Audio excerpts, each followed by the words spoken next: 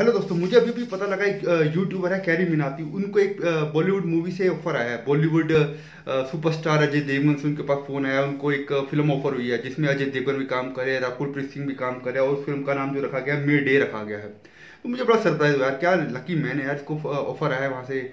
बॉलीवुड की movie Bollywood production से, यानी अजय देवगन से, और उनके जो है, उसमें लिखा हुआ है, उनके जो है बिज़नेस हेड है दीपक छार और जो अजय देवगन प्रोडक्शन की टीम से उनको फ़ोन आया, उनके ब्रदर को तो यार बड़ा सरप्राइज़ हुआ यार क्या बंदा यार, क्या देखो यार यूट्यूबर से कहाँ से कहाँ बॉलीवुड में पहुँच गया।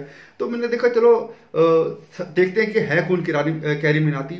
तो उससे पहले मैंने देखा कि यार ये चलो थोड़ा समझ ले कि कौन कौन सी मूवीज़ का क्या है, क्या नहीं, थोड़ा समझने की कोशिश करी तो यार बाकी यार अच्छा लगा यार बंदा एक यूट्यूबर है, कहाँ से कहाँ पहुँच रहा। अच्छा फिर मैंने देखा जाकर उसके यूट्यूबर के चैनल पर जाकर देखो तो सही है क्या भाई बंदा? अच्छा उसकी सरप्राइज़ हुआ यार उस बंदे के। 27.5 मिलियन सब्सक्राइबर है। वाह यार, क्या खास बात है बंदे के अंदर। मैंने एक दो वीडियोस चला करके देखे।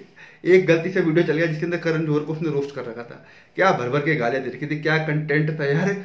दो चार मिनट के बाद मैंने उसको हटा दिया। खैर यानी वो लोगों को पसंद आ रहा है, इतने बड़े सब्सक्राइबर उसके पास हैं तो यार, कुछ ना कुछ तो खासियत होगी यार। इस पर मत जाओ। फिर मैंने देखा, चलो, संदीप महेश्वरी, जिसको मैं फॉलो करता हूँ, उसके कितने सब्सक्राइबर है? देखा तो संदीप महेश्वरी के जो सब्सक्राइबर दिखे मेरे को दिखे जो है 18.1 मिलियन सब्सक्राइबर तो कहाँ 27 मिलियन कहाँ 18 मिलियन सब्सक्राइबर तो यार देखो, फ़र्क तो काफ़ी है। और संदीप संदीप महेश्वरी का कंटेंट तो किसी अलग लेवल का है। वो रोस्ट कर रहा है, गालियाँ दे रहा है तो मतलब मेरे को ये समझ आ गया, लोगों को गालियाँ ही पसंद है भाई।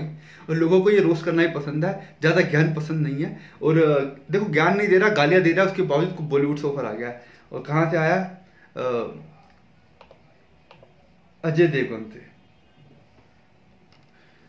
ये न्यूज़ मैंने जो है रिपब्लिक वर्ल्ड पे देखी है और ये न्यूज़ कितनी जेनवन है, कितनी जेनवन ये तो मुझे नहीं पता बट मैं बेस्ट ऑफ़ लक कहूँगा कैरी मिनाती को उसके जो है डेब्यू के लिए बॉलीवुड के अंदर डेब्यू के लिए और I wish best of luck for his new career और जो है गालियाँ दे दे करके लोग आगे बढ़ रहे हैं यार। बढ़ो बढ़ो वेरी गुड थैंक चलो, इस वीडियो को मैं यही खत्म करता हूँ और एक अच्छा सा न्यूज़ मेरे को लगा था मैं सोचा चलो आपसे शेयर करते हैं।